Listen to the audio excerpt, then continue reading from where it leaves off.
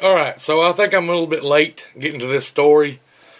I just want to do some fact checks first, and I've been to about five or six different websites, and they're all saying the same thing. Uh, Reverend Jesse Jackson says that uh, semi-autos, well, before he said they can also shoot down airplanes, now he's saying they can blow up railroads. Oh, Jesus, Lord, have mercy. You know, it don't really bother me that he says that. What bothers me is the masses of people that don't understand what a semi-automatic weapon is. And they're going to believe him. When you see uh, an evil black rifle, an EBR, you know, they think, oh, it's total destruction. It, it, you shoot and it's going to blow everything up. If it hits it, it's going to blow it up. Oh, boy, I tell you what. Uh, people like him just get under my skin. Just They make me so pissed off. What what did they say the the st statistic was? Uh, even uh, shooting down um, an airplane with a semi-auto.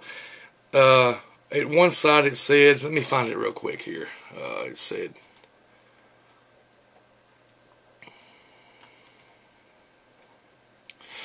you have a better chance of being hit by lightning while winning the lottery than bringing down a commercial airliner with a semi-automatic weapon. So, first of all, you got to get struck by lightning. While you're getting struck by lightning, you have to hit the lottery.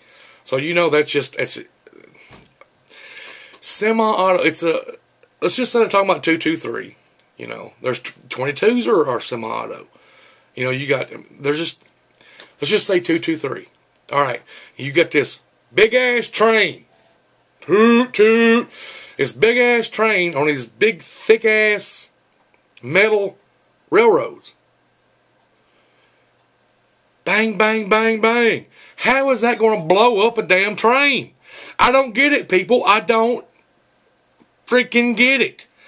But like I said, the people that don't know about firearms and don't know the little bitty 223 round, you know, uh, that a lot of people use for varmint hunting to take out coyotes and, uh, you know, shoot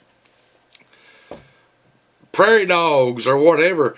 This guy is saying it can it can blow up a freaking train. Are you serious? Really? I like to see his facts. Where's your facts at, Jesse Jackson, Reverend Jeff, Jesse Jackson? I tell you what, man, I got a big ass you can kiss.